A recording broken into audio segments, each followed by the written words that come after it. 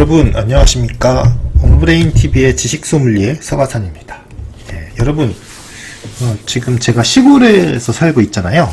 매미가 시끄럽게 창문에 붙어서 지금 울고 있는데 아무리 떼도 날아가지 않아가지고 그냥 그런가 보다 해주십시오. 자 오늘 한겨레에서 재밌는 기사가 있어가지고 여러분께 소개해드려 가져봤는데요. 음, 사람도 귀를 쫑긋한다는 그러한 이야기입니다. 그래서 여러분, 저는 개를 두 마리 키우고 있는데 개가 무엇인가 이렇게 관심을 가지고 소리가 들리고 그러면은 예, 막 귀를 이렇게 앞으로 뒤로 뭐 이렇게 소리 나는 방향으로 막 이렇게 그쵸? 쫑긋쫑긋거리죠? 그리고 여러분 그 귀는 의사소통으로도 쓰이는 것 같아요. 제가 관찰해 보니까 예, 막 이렇게 기가 죽거나 좀 강한 상대 앞에 그래서 주눅이 들면은 이렇게 귀를 뒤로 이렇게 젖혀가지고 바싹 젖히더라고요. 예, 그런 거 보면 어, 귀가 의사소통의 도구로 쓰이기도 하고 그렇죠? 그리고 이렇게 방향 탐지 기구로도 쓰이는 것 같습니다. 예, 그래서 음, 낯설거나 큰 소리나 중요한 소리가 들리면 동물의 귀는 저절로 쫑긋 섰는데 그렇다면 사람도 그럴까? 근데 사람도 그렇다는 지금 그런 연구 결과가 나왔다는 것입니다. 예, 사람도 미미하지만 다른 동물과 차이가 없이 이렇게 이렇게 소리가 나는 방향으로 귀를 돌린다는 건데요. 음, 귓바퀴를 움직이는 사람도 인, 있다고 하네요. 그런 사람들은 음, 이제 의도적으로 이렇게 귀를 이렇게 그 움직이는 것일 뿐이지 이렇게 그쵸? 근데 그런 게 아니라 음, 이제 이런 것보다는 그쵸? 어, 이렇게 무의식적으로 어떠한 소리가 딱 중요한 소리가 들렸을 때 그럴 때 어떠한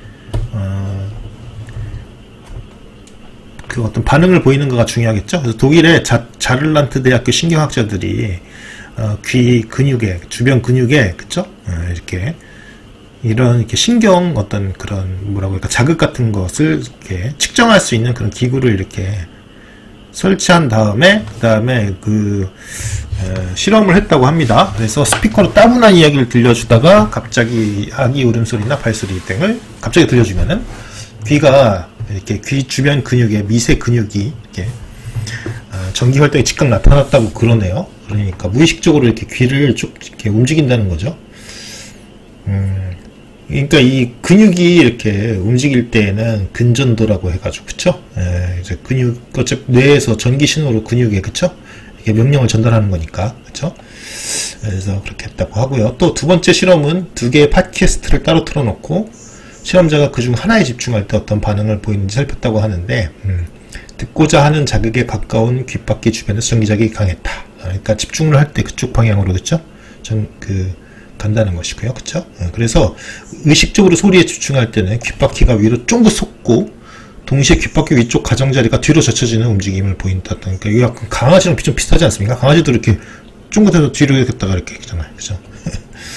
그래서 어쨌든 자를란트 대학교의 어, 이 지금 책임 연구 책임자 연구 책임자 어, 다니엘 시트라우스 교수가 귀 근육 주변에서 전기적 신호가 나타나는 것은 그쪽으로 청각이 집중된다는 걸 뜻한다. 사람이 아직도 귓바퀴를 음원을 향해 움직이는 기초적 시스템을 갖추고 있다. 야, 근데 이 시스템이 약 2,500만 년 전 흔적 기관이 되어서 뇌 속에 신경 화석으로 남아있다. 그러니까 실제적으로 귀를 움직이는지 아닌지와 상관없이 그쪽으로 신호가 간다는 얘기죠. 그렇죠? 그래서 신경 화석이라고 이름을 붙였네요. 음. 근데 영장류 가운데서 침팬지와 고릴라 등은 사람처럼 귀를 움직이지 못한다고. 오, 오히려 그거네. 근데 긴팔 원숭이, 원숭이는 아직도 움직인다. 여러분, 긴팔 원숭이. 음, 신기하네. 야, 그런데 침팬지는 나 그거는 오히려 더 가까워 보이잖아요. 고릴라가. 그런데 그렇지 않고 긴팔 원숭이랑 더 비슷하다는 거네요. 그죠? 귀에 관해서만큼은. 음.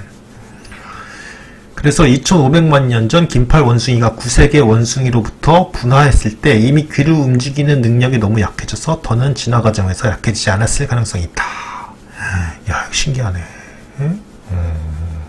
아, 귀가 저절로 향하는 기능은 사람과 침팬지 등그 사람도 에, 저절 의식 그 완전히 이렇게 움직이지는 않지만 무의식적으로 움직인다는 건데 이게 화석처럼 남았다는 이야기죠, 그쵸 어.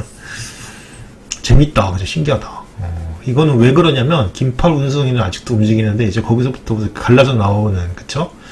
에, 생명체들 진화하는 생명체들 거기서부터 그죠? 에. 그거는 이제 그렇다는 얘기죠. 어, 그 움직이는 능력을 보유하지 못했다. 그렇죠? 아, 그래서 이번 연구에서 측정한 결과 낯선 소리를 들었을 때 귀 주변 근육으로 향하는 신경 반응의 강도는 어, 사람이 쉽게 미소 짓게 의도적으로 귀 움직이기 등 할 때보다 어, 10분의 1에서 100분의 1 수준 약했다. 아주 약한 바, 반응이라는 얘기네요. 그쵸? 음, 재밌다. 신기하다. 그죠? 그러니까 아주 무의식적으로 조금 그냥 신호가 가는데 움직이진 않는다는 얘기죠. 그쵸? 음.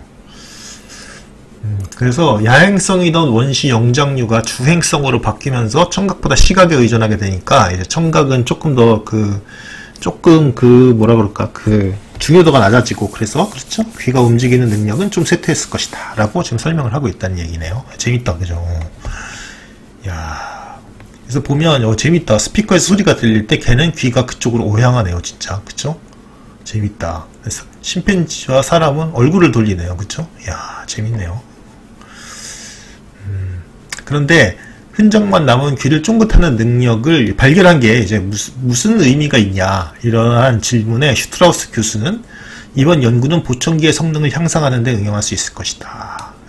그래서 뭐 이렇게 응용도 가능하다는 건데 여러분 그런데 이러한 연구들은요 어, 그 자체로 가치가 있는 것 같습니다. 아, 인간이 청각에 대한 어떤 그런 중요도를 잃으면서 귀를 움직이는 능력도 아주 약화됐지만 그래서 완전히 지금 사라져 가는 중이긴 하지만 완전히 사라지지 않은 게 엄청나게 적은 전류가 그쵸 신경이 반응이 아직까지 귀 근처에서 일어난다 라고 하는 것은 그 흔적이 남아 있다 라는 것이고요 그쵸 야 재밌습니다 이런 게 그죠 자 그래서 오늘 재미있는 정보를 하나 전해드렸고요 다음 시간에 또 더 재미있는 소식으로 여러분을 찾아뵙도록 하겠습니다 네, 좋아요와 구독은 저에게 큰 도움이 되고요. 네, 그리고 여러분 항상 행복하시고요. 오늘 시청해주셔서 감사합니다.